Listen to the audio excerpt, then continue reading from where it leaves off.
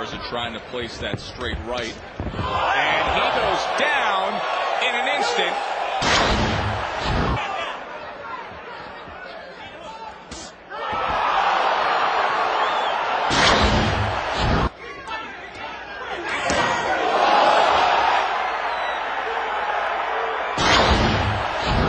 A cautious first round, but not here as Matt puts down Wiggins.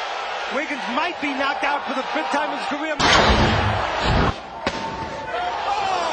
and a right hand floors Rodney Freeman. And you what a know- shot by Troy Wilson.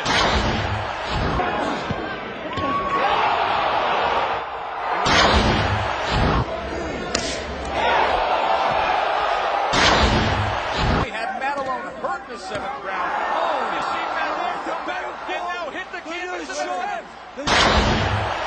Lay inside too long. But he's going to get oh, plenty of How about opportunities. the uppercuts, Eddie? And there's that uppercut. Oh, what a right hand by Julio